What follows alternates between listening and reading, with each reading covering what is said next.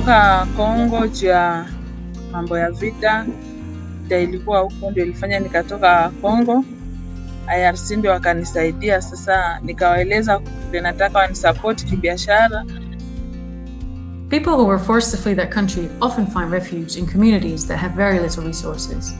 That can create tension within the communities, but it can also bring opportunities for people to work together and develop a more prosperous future for their community. At the IKEA Foundation, we support programs that help refugees and host communities thrive together. Maono iko nayo kuhusiana na biashara yangu.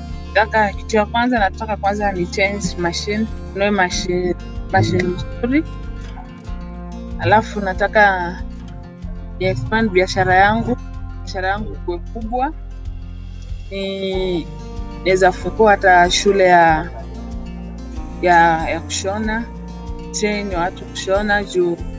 Na marafiki wengi hata wa Kenya kuna wengi wenye wana wanatamani kufanya kazi lakini juzi hawana, so nataka nikuwe na We've been supporting the IRC since 2017 to help people in Nairobi create new businesses that can grow and offer employment to others.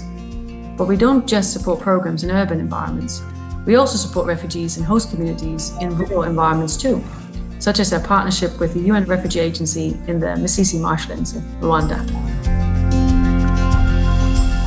The project, Mrs. Project, you know, has uh, given uh, you know a lot of advantage. You know, first by ensuring, as I said, access of land, uh, because specifically for the refugees, you know, that's the first time, you know, in Rwanda that we have been able to provide such a big land, you know, to the refugees. With this project, you know, refugees have been fully integrated. It, the project has improved the knowledge about farming, but also one of the advantage the project has been able to provide uh, food security to all the farmers and from the host community.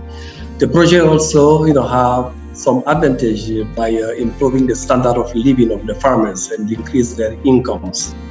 We supported the Mushishi project in 2018 as a new way of working with the UN Refugee Agency and the government of Rwanda, where we would support an agricultural livelihood program that supports local markets.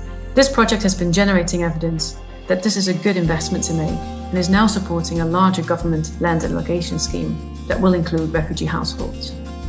My hope for the future is, of course, that we see less crises happening because of smart investments in climate and in livelihoods. I hope the Foundation will have contributed with evidence about what works and what doesn't work, and that we no longer see refugees as a problem, but really as an asset to continue to invest in local economies and their communities.